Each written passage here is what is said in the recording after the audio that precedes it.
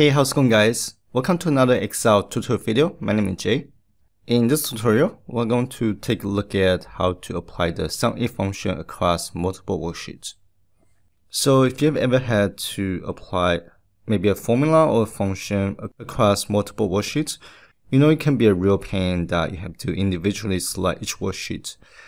So in this tutorial, I'm going to show you a trick that I learned how to sum easily across multiple worksheets with the SUMIF function. So here I have an Excel file and on this Excel file, I have the summary worksheet and which is going to be the worksheet that I'm going to use to aggregate all the worksheets uh, across uh, from all these five different tabs. So central, east, north, and south, and west. And for those worksheets, which are going to be my data tables, and each table has uh, the same column. So fruits, quantity, price per unit, and sales amount. And within each worksheet, uh, so I have different fruits, apple, avocado, pineapple, and peach. The only difference is that for each worksheet, the, the order of the fruits are different. So from sales, app apple, pineapple, peach, and avocado. And for notes, app apple, pineapple, avocado, and peach.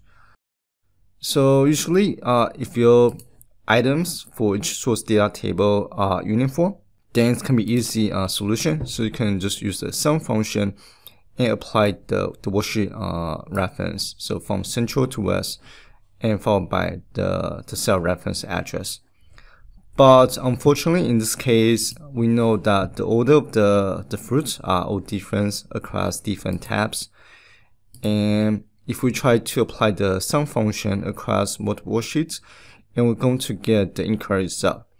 So in column D are the numbers uh, returns from applying the, the sum function. In column E is the is the expect result.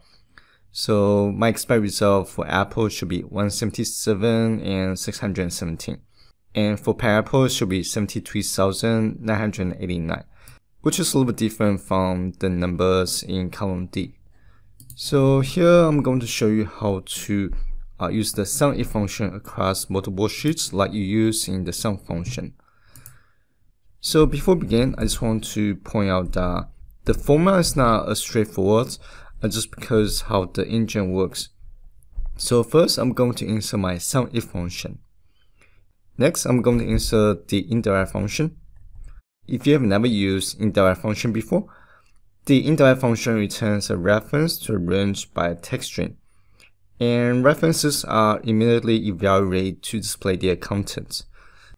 So here I want to grab the the, the data from the central tab, east tab, north, south, and west tabs. So to do that, so let's first of all insert the, the single quotation. So we're going to basically mimicking the cell address. And here, uh, so after you insert the single quotation, you want to insert the, the ampersand symbol. So here we want to insert open curly bracket. And inside the curly bracket, we want to type old worksheet name that want to sum uh, across. So I want to sum the central worksheet, east worksheet, north, uh, south, and the west worksheet. And followed by close curly bracket, and ampersand symbol, double quotation, and single quotation. So that means this is going to be the, the text for all the worksheets and I want to insert the, the cell reference address. So want to insert uh, the exclamation symbol and followed by the, the cell reference. So it's going to be A2 to uh, A5. So I know my source data table cell reference already. And just make sure that your cell reference is locked by inserting the dollar symbols, double quotation, and close parenthesis and comma. My second parameter is the criteria, so it's going to be A2. And for the sum range, so my sum range is going to be from uh, D2 to D5 across each data worksheet. So here I can just copy uh, the cell reference from the indirect function Now I'm going to insert another indirect function.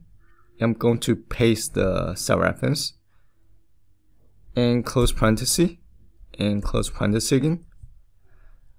Except that this time I need to change my my sum cell reference. So I need to change that from A2 to D2 to D5. Now if you simply just enter the formula, Excel is going to give you this uh, spill uh, error message. And if, if we have uh, the error message, so it just tells you that a cell we need to spill data into isn't blank. So what we need to do is we need to wrap this formula with the SUMPRODUCT function and enter. And now that gives you the correct result. And we get the same result as the results in column E. Now assuming instead of 5 worksheets, now you have like a 100 or 500 worksheets. Now assuming if you have to apply SUMIF function across maybe uh, 10 or 50 or even 100 worksheets, and what I usually like to do is I like to create a reference a sheet tab. In this reference sheet tab, I will uh, input the, the worksheet name that I need to uh, I need to sum across. So right now I only have five worksheets. So central, east, north, south, and west. But if you have like 100 or 200, you may need to manually just you know, type the, the worksheet names first. Or you can use a macro to uh, populate the worksheet name for you. And that will also save you a lot of time. But now let's go back to the summary uh, tab. And now let me grab this uh, formula right here. Let me, and let me just paste over to cell C2 and assume that uh, you don't want to uh, manually type the worksheet name. So what we can do is we can so here let me remove the this uh this uh strings right here and instead of uh typing the worksheet name individually so I can actually reference the the uh the cell reference from my reference sheet so I can so here I'm just going to manually highlight the the cell reference from B3 to B7 and press F4 to lock the cell reference. And I'm going to copy the cell reference right here. And I'm going to replace that with this. Uh, so I'm going to replace the this text this uh, text string with the cell reference and enter. And that also gives you the same result. So this is everything I want to share in this video. And hopefully you guys found the video useful. You can download this Excel template as well as the finalized Excel file from the link in the description below. And as always, thank you guys for watching. I'll see you guys on the next video.